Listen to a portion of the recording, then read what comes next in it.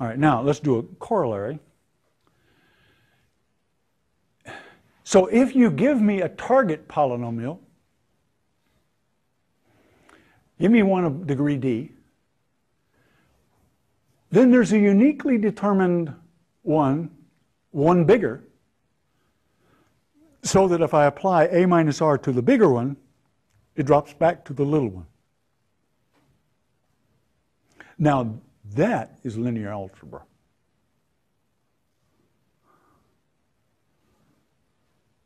Because to apply this, you simply have to work out the equations and see that there is a solution. So give me a target, and I can find a bigger one. If you apply a minus r to it, you get the little one.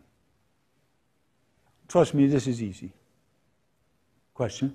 So how come your QN is of degree d plus one? Exactly. It's one bigger. So a minus r applied to one of degree d plus 1 drops it back to degree d. But I want more than that. I want to tell you what I want it to drop back to exactly. Okay, so I'm not really proving this corollary, but it's, it's, it's essentially what we just did, done backwards.